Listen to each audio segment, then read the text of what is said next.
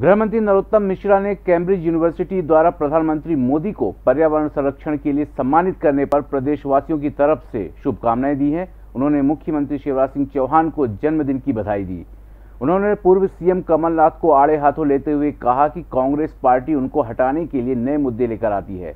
पहले गोड से लाया जाता है, फिर उसके बाद किसान महापंचायत। गृह मंत्री नरोत्तम मिश्रा ने मुख्यमंत्री शिवराज सिंह चौहान को जन्मदिन की बधाई देते हुए कहा कि शिवराज सिंह चौहान मुख्यमंत्री पद को इतने सालों से सुशोभित कर रहे हैं जितने महीनों तक भी विपक्षी सरकार नहीं चला पाए। सरकार शिवराज सिंह चौहान ने अपने हर कार्यकाल में कीर्तिमान रचे हैं।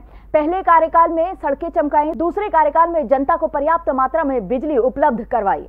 तीसरे कार्यकाल में नेहरू का जाल बिछाया और अब चौथे कार्यकाल में भी वे नए कीर्तिमान गढ़ने जा रहे हैं। कांग्रेस पार्टी पर निशाना साधते हुए उन्होंने कहा, अब तो पूरी कांग्रेस सड़क पर आ गई है। कमलनाथ को अध्यक्ष पद से हटाने के लिए ही कांग्रेसी द्वारा नए नए काम किए जा रहे हैं। लोगों को दिग्भ्रमित किया जा रहा है। कभी गोडसे को लाया जाता है तो कभी किसान महापंचायत की जा रही है। पिपरिया में कांग्रेस पार्टी द्वारा महिला पर अभद्र टिप्पणी को लेकर उन्होंने कहा कि कांग्रेस पार्टी की राष्ट्रीय अध्यक्ष महिला होने के बाद भी पार्टी के प्रदेश अध्यक्ष महिलाओं के प्रति असंसदीय शब्दों का प्रयोग करते हैं और इसीलिए होशंगाबाद के पिपरिया में भी कांग्रेसियों ने अभद्र टिप्पणी करने का काम किया है। हम इसे बर्दाश्त नहीं करेंगे, कार्रवाई करेंगे। पूरी कांग्रेस सड़क पे आ गई है साहब। दिग्विजय सिंह की बात नहीं करो आप। कल तीन प्रदेश अध्यक्ष साथ। ये सबरे तीनों प्रदेश अध्यक्ष मिलकर मध्य प्रदेश के कांग्रेस अध्यक्ष कमलनाथ जी को हटाने के चक्कर में। इसीलिए गौड से जैसे मुद्दे आते हैं इसलिए कांग्रेस से हटके किसान को बनाई जाती है। मैंने कल भी कहा था मैं आज भी कहता हूँ कि अगले चुनाव तक कांग्रेस नहीं रहेगी कोई तीसरा फ्रंट आएगा चुनाव लड़ने के लिए। क्योंकि कांग्रेस के प्रदेश अध्यक्ष जब असंसदीय शब्द महिलाओं के बारे में बोल सकते हैं। जिस पार्टी की राष्ट्रीय अध्यक्ष महिला हो, उसके कार्यकर्ता ऐसा मिलेंगे तो कार्रवाई तो करेंगे। आप समानताएँ देखिए। माननीय प्रधानमंत्री जी को कैम्ब्रिज यूनिवर्सिटी के द्वारा पर्यावरण और विश्व के क्षितिज पर एक ऐसा उभरता हुआ व्यक्तित्व सौभाग्य से भारत देश को मिला है। जो नए नए कीर्तिमान गढ़ रहे हैं। आज वो संबोधन भी देने वाले हैं मैं उनको पूरे देश मध्य प्रदेश की जनता की ओर से बहुत शुभकामनाएँ देता हूँ। आज शिव, शिवराज सिंह जी चौहान मुख्यमंत्री जी उनका जन्मदिन है। और ये भी एक संयोग है आज पुरस्कार मिला प्रधानमंत्री जी को आज वृक्ष हालाँकि वृक्ष शिव के ही प्रतीक है, भगवान शंकर के।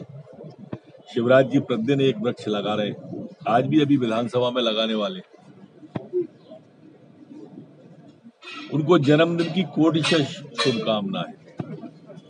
एक ऐसा व्यक्तित्व जिसने अपने कर्तृत्व के माध्यम से प्रदेश के अंदर कीर्तिमान स्थापित किए, रिकॉर्ड कायम किए। जितने महीने लोग सरकार नहीं चला पाए, उतनी साल से सरकार चला रहे एक सेवा का नया उदाहरण प्रस्तुत किया। एक जनता के बीच में विश्वास पैदा किया।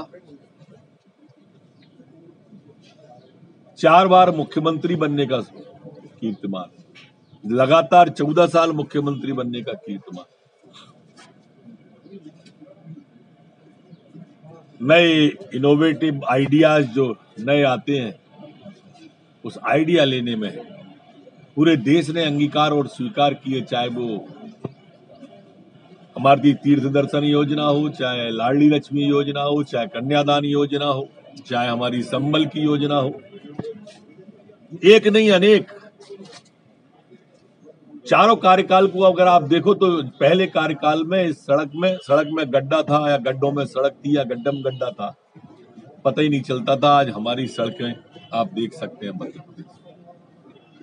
सर दूसरे कार्यकाल में फीडर सेपरेशन प्रधानमंत्री ने जो गुजरात में किया था वैसा मध्य प्रदेश में करके गाँव की बिजली अलग खेत की बिजली अलग करके एक नया कीर्तिमान स्थापित किया।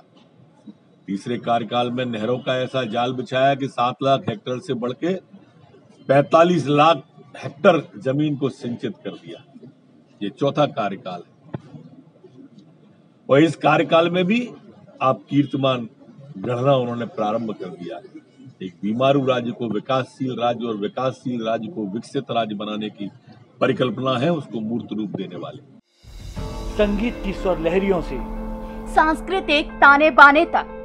चंबल के पीड़ों से नक्सलवादियों के गढ़ तक झोपड़ी से महलों तक ठेलों से मेलों तक पगडंडियों से सड़कों तक गाँव से शहरों तक व्यापार से उद्योगों तक। राजनीति से कूटनीति तक। दखन न्यूज़।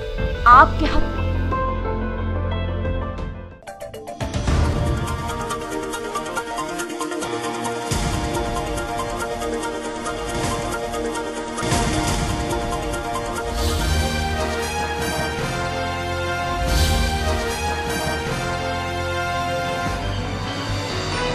आप देख रहे हैं दखल न्यूज़।